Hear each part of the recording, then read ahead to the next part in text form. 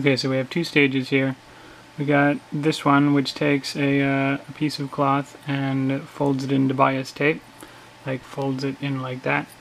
And then we have this other one, which takes a uh, takes a piece of bias tape and it folds it in half, so that uh, so that you can sew it. Now I have the first one lined up over here. Let's see.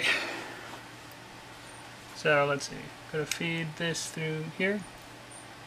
I may need like a pencil or something to poke the uh, the fabric through because it doesn't always want to go immediately.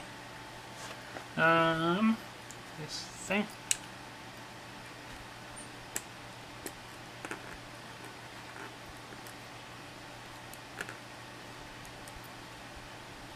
There we go.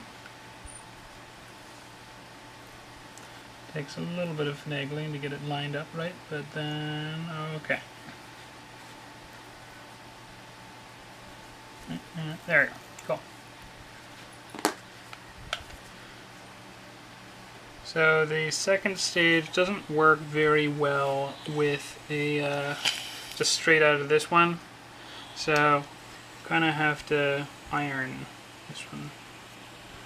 I had vague thoughts of like, what if you just had a setup? We've got this thing and the other thing and an iron in between, and it just feeds right into the sewing machine. Is that, uh, is that steam? It was looked like smoke, but here I'll let you see the uh, the process going on over there briefly.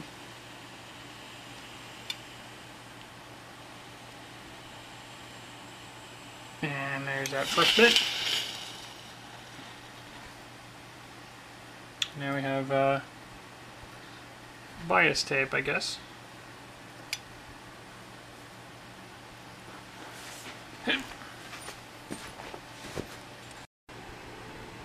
Okay, now I have uh, have the second stage here attached to my sewing machine. As you can, where did I put them? Just gonna borrow this. So it has uh, these things have um, have little flanges, little slots in the side, and you can just like thread tape through there, so that then you just stick to stuff. So that's what I did here. Uh, not great with the sewing machine, so uh, this may the results here may be mixed, but uh, we'll see how it goes. So you uh, you fold this thing a little bit and you feed it through this 90 degree slot here. This one actually goes through pretty well most of the time. So, uh, and then you feed that in there. Now, frankly, I'm not too clear on what conditions you normally uh, use bias tape in this way. Like, I know you fold it over stuff and uh, sew it, but in any case, you can. Th this is a thing you can do. If you, like, for instance, if you're making ties out of the stuff uh, for tying things, not for wearing around your neck you could if you wanted, but anyway. Um, I've noticed that this stuff has a tendency to drift a bit, so I kind of I try to keep my fingers on it.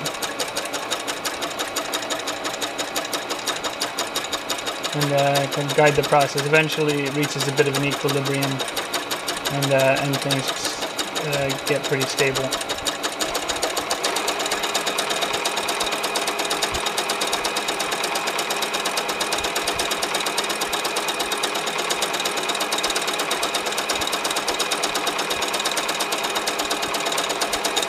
Goes in here, thing narrows down and folds it in half, and then it comes out the other side, and you just feed it under the feeder, uh, the foot.